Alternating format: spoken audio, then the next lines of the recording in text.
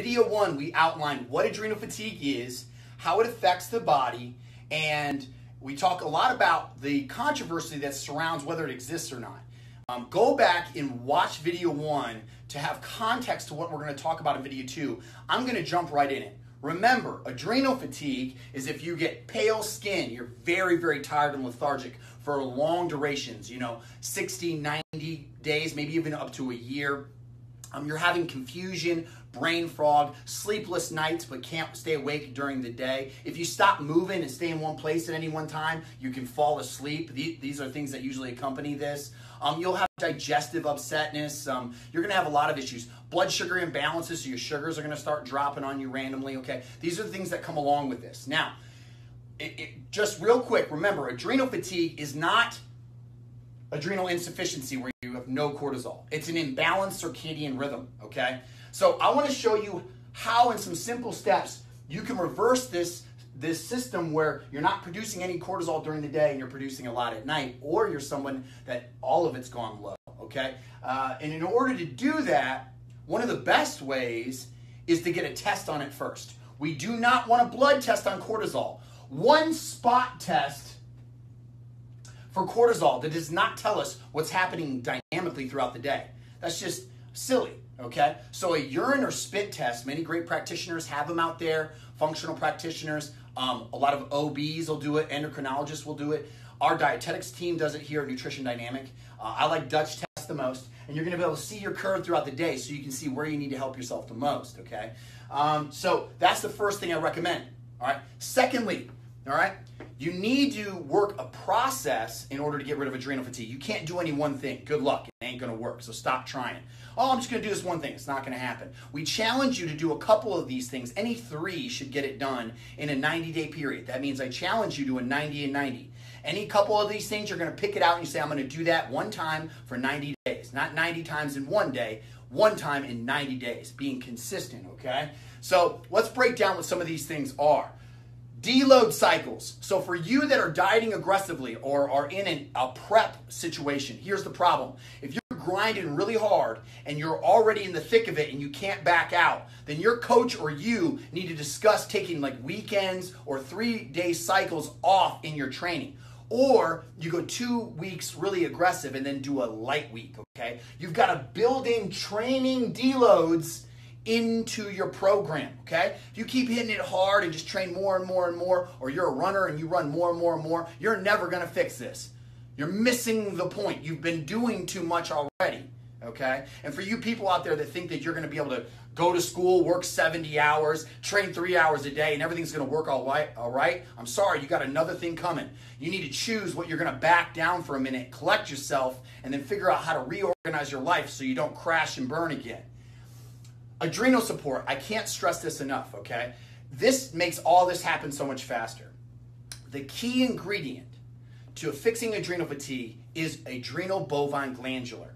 Now, it's been removed of cortisone because you don't want cortisone. If your doctor offers you cortisone to fix adrenal fatigue, do not accept it. It's going to blow out your adrenals, okay? Uh, you'll feel good for a couple of days, but then you're going to go into depression blows out dopamine, uh, norepinephrine. It is no good. It's like taking prednisone. Do not do that. You got to fix it the natural way, and, and you're going to have to do that with hard work. So, adrenal bovine glandular is one of the keys. We put it in our product, Adrena Health.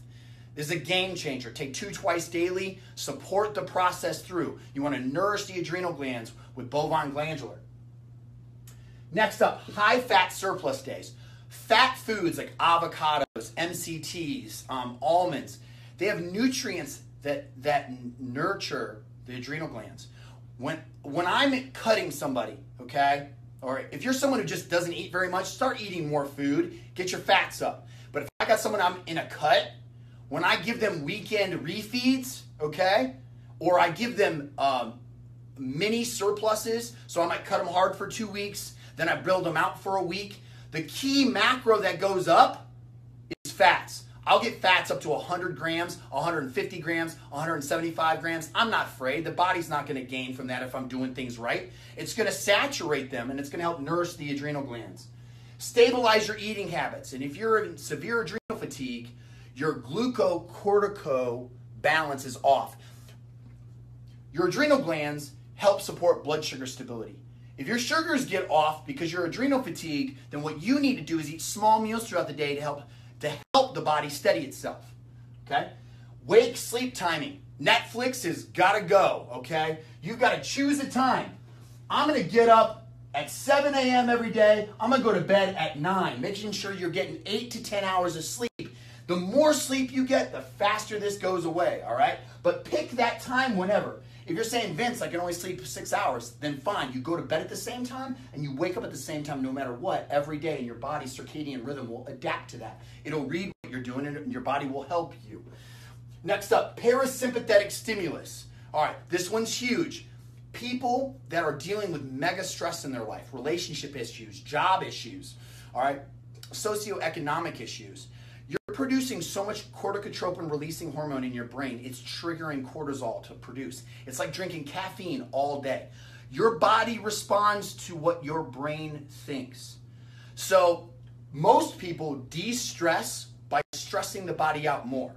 Sitting and watching TV, playing on social media, going and working out more, running your stress off, actually adds cortisol to a cortisol problem.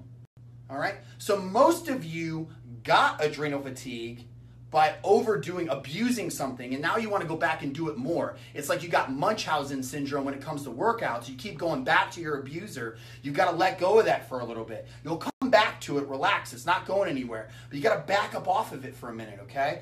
And what you got to do is start parasympathetically stimulating your body.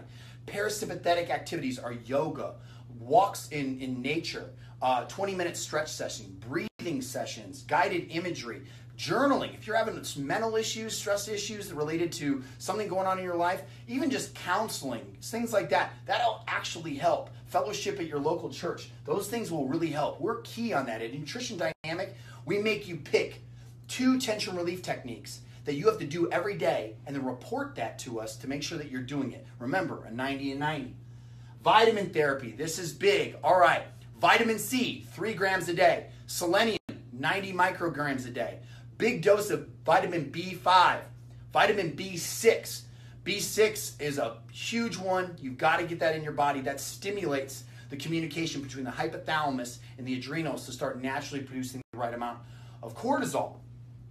Um, I recommend about 90 milligrams too of inositol. That's really big, about um, 30 to 90 micrograms of zinc. You've got to megadose these things for a while. Vitamin C being the number one. Okay, Dr. Uh, uh, Wilson um, has an adrenal stress formula that's really good there. I like that. Detox stimulants. I hate to break it to you. You're already tired, ladies and gentlemen, but guess what? You need to get rid of those stimulants because they're keeping you tired. Yeah, I said it. So if you're already tired, Vince, I can't go on without my coffee. I'm sorry. Get rid of the coffee, and then when you detox from it in 72 hours, and oh, by the way, processed food, people that get really adrenal fatigue, their sugars are doing this. So you get cravings. So now those people are wanting to eat sugary foods, processed sugary foods. That's making it worse. When you already don't have glucose stability and then you go eating high glycemic index foods that shoot up insulin and glucose, you're making your fatigue worse. It's like eating McDonald's, getting all happy and high for five minutes and then being super depressed when you're done. That's what's happening here, okay? So you got to detox from these things. To make this go very quickly so you don't have very many headaches and you get over the caffeine, detox formulas work real well for this. Our Metapure will help you get rid of caffeine addiction very quickly, okay? Um, headaches and stuff maybe only last 48 hours, all right? Maybe a touch of green tea to get you through, but that's what you have to do. All right. You need to pick any three of these things, all right, and do them together for 90 days. Again, if you're already in a dietary cut, you need to be thinking about how to maybe if you've been taking that stuff for over 60 days, it ain't working no more anyways. You're just putting more crap in your body. So these are the keys. I hope you enjoy. What I'm going to do is I'm going to train them early in the week, all right? Cut into their calories, going to caloric surplus, uh, deficit, but then I'm giving them three days off Friday, Saturday, Sunday. And guess what I'm doing with those fats? I'm raising them, okay? I'm hitting them with large dose vitamin therapy, um, and, and I'm working all this system. I'm